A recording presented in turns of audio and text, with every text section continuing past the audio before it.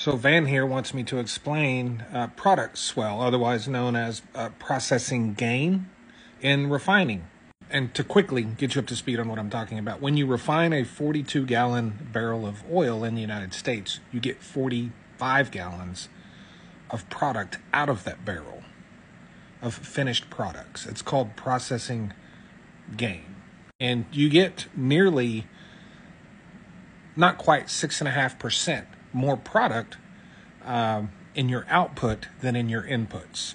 Refinery outputs are larger than their inputs because there's a, a well over 6% gain, um, a volumetric gain because the products that are uh, you're putting out, the, the finished products, have a lower specific gravity than your inputs, than the products you know you're starting with. So uh, a simple way to say it, uh, you're taking something much thicker and you're making it much thinner, and the products that you're you're making out of it are much thinner, right? So you do get a volumetric gain.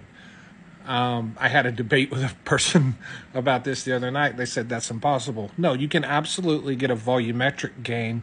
What you can't gain is mass, right? So you, you can't get more mass, but you can get more volume by changing the specific gravity um, of the products. And if you're not familiar with specific gravity, it's basically, you know, relative density or, or density, right? And the specific gravity or relative density is measured against water at like 40 degrees. So if oil has a specific gravity of, you know, 0.87, um, basically it has what 87% of the density of water and that's why it's lighter than water. That's why it floats on top right?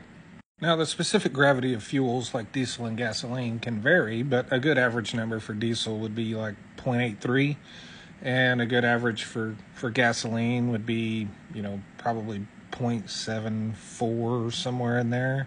So if you were to have water oil diesel and gasoline all in a glass of water, or all in a glass, the water would be on bottom, and then the oil would be on top of the water, the diesel would be on top of the, the oil, and the gasoline would be on top of the diesel. I feel like I have way over explained this, but that's the answer. I kind of got lost there. Thanks.